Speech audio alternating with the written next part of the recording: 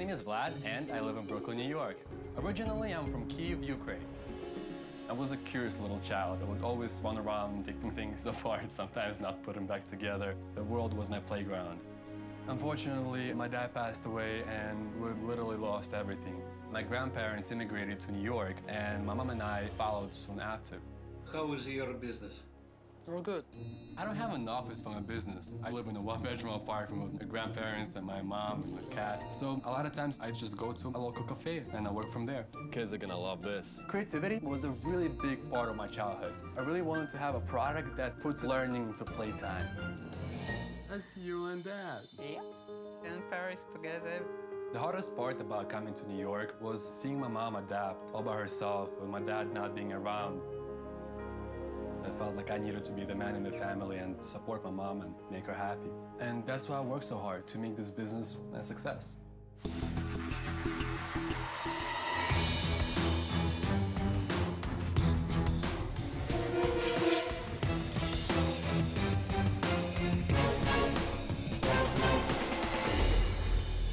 What's up, Sharks? My name is Vlad, and I'm from Brooklyn, New York. I'm the founder and the creator of Pinblock Building Blocks, and I'm here seeking $100,000 in exchange for 20% of my company. Sharks! The future of our children is in big trouble. Millions of parents are making one big mistake. They value school more than playtime. You see, in school, your children are bound by rules. They memorize and recite all day long. But playtime at home is when the self-exploration and the self-development actually takes place. It is then your little sharks develop creativity, decision-making skills, all the things that are really important for their success. Every day, more and more parents realize this and get their children the ultimate creative toy, building blocks. And that's why I created Pinblock, which requires no manual, and every single piece is exactly the same. The long round pins on top of each block allow your models to bend and even fold. Kevin, uh, I said every single piece is exactly the same, so it allowed me to take your beautiful face, Yes. it, and make a real-life Merle. Extremely attractive. So Sharks, I need your help to unlock the creativity of our children and watch them build the future one pin block at a time. now, guys, I got some personalized gifts. How about I give them out? Robert, uh, you're the protector of the cyberspace. You'll be our warrior for today. Here's Ooh, your I love it. helmet Thank you. and your dagger. Don't forget. Dagger. Very Lori, cool. queen of QVC, but you forgot your crown. Thank and a you. staff for you to rule with. Ah, Lots Kevin? of presents. Therefore, some Pinblock cash for you. I like that. Very cute. Barbara, I got some really cool accessories for you. Let me. Oh, Good. I hope they're pure diamonds. And a crown. I get pizza? I promise the pizza is gluten-free. That's what Mark is known for, eating. what are your sales? Yeah. So with sales, we have uh, 160K from Amazon and from our website. Can I see your box? Sure, certainly. So uh, this is just one of my uh, different sets. What does it cost, Vlad? So that one is our starter pack, 1995. How much does it cost you to make? Cost me $3. With this starter pack, what can I make? That one in particular actually comes with the manual. But after that, the kid can go on our YouTube channel, learn from my tutorials that I make myself. So what Yeah. about Toy Fair? You been to Toy Fair? Yes, January last year. Yeah. So over there, we got great responses. We're just showing the prototypes. We're- What happened with Walmart? What happened with Costco? What happened So, with Toys R Us? uh, with the big box retailers, they're generally not there to seek out new products. Uh, I saw them just running from meeting to meeting, and they loved it. Like, yeah, this is really cool. Send us a sample, right? So you didn't get any orders there. No, uh, I took some orders from smaller retailers. Vlad, I'm dying to know your background. Where do you come from? Uh, originally, I'm from uh, Ukraine. And actually, my, my father, he gave me a lot of inspiration. He was in venture capital and uh, Did he help fund this business? Um, unfortunately, very early on, he passed away, which uh, kind of put me in a position where everything we had, my mom and I had, was taken away from us. So I, it's crazy to think about it, but since I was a little boy, I knew that I had a mission to like get it all back, to kind of like uh, you know, for my father to succeed him, you know, to also become successful, to continue his journey. So by the time I started this business, I was 18 years old. So you came here wanting to live the American dream. That's exactly it. How old are you now, if you don't mind? me 21, just Wow. turned. Wow. Did you start this business? Did you raise any money? No, we didn't raise any money. I started with, with my uh, best friend at the time, and we together pulled our money and we financed the prototyping, the production. What happened to the friend? Uh, my partner was in the back end, and I feel like he didn't feel connected to the business. So does And, he still own part of it? Uh, he still owns 15%. 15? And 15, one five. So I own the rest, 85. And he's not there anymore. No, he's not there. Well, at the other blocks, I can create stuff like this. I, I disagree. Not Uh, bendable. actually, I would ask you, would you be able to make a crown? Would you be able to make a watch? And do you have a patent on it? Yes. I applied for two patents, and yesterday got my uh, design patent granted. Good for you. So the design is of the shape of the piece. The design is exactly how the piece looks like. That's yes, that. useful. I have to admit, this is interesting because it does a few things. The bendability plus the, the pixelation artwork is kind of different. You know, years ago, I sold my company to Mattel, and I worked there for a year and a half, and I got a pretty good dose of the understanding of the toy industry.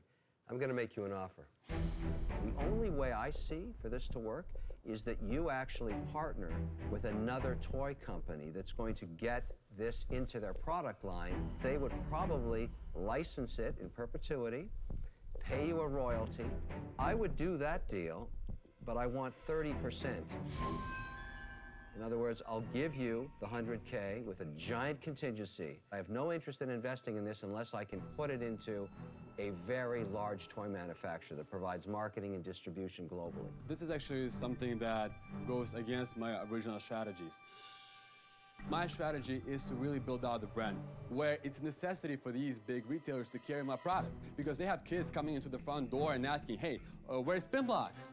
Vlad, everything you just outlined, you made it sound as though it's a very easy thing to accomplish.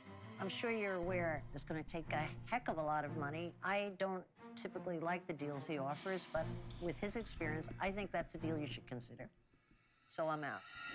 Vlad, in the toy space, it's very difficult to to make the consumer understand a completely new product like this. It's a long road. I'm out. Um, Vlad, look, I always think great businesses are built from great purpose. I can just tell. That's you. I would try to license it, but that's not your vision. I wish you all the best, but I'm out. Vlad, what you're doing is incredible, right? You're grinding through, and that, there's a lot of really amazing things that you've accomplished. But the toy business is brutal. This isn't something for me. I'm out. I made you an offer, Yes. and the risk you have when that occurs is you can see if there's another one or you can engage in mine. And now you only have one option. That gives me a lot more leverage. So I'm going to modify my offer. The only way this works is I'm going to be a 50 50 partner with you. I'll give you $100,000 for 50% with contingency. I'll bring it to the toy industry because they all return my call. And I'll bring deals to you. And if you want to turn them down, that's fine. But if you want to accept one of them, we're 50 50. You have no chance of doing it successfully yourself. So your first offer was for 30%. And then you dropped out, Robert.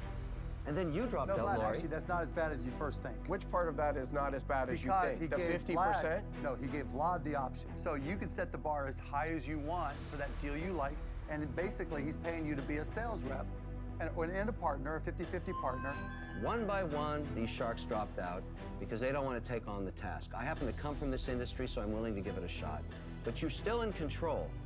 This is your one shot to get in the boardroom of the biggest players on earth. Vlad, you should take this offer. This is a good deal for you. You know what? Stop telling him what to do. I don't own uh, the entire 100%. I own 85. So you, by taking 50%, you're becoming the sole driver of the company.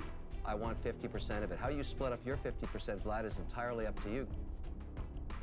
Vlad, do you think you can do it alone?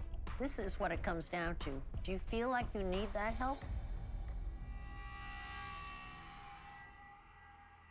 Kevin, let's do a deal.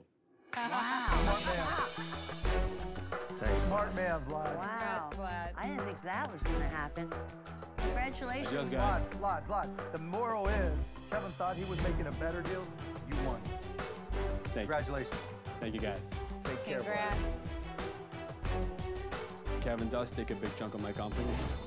I am the not the majority stakeholder anymore. He is. Sucks.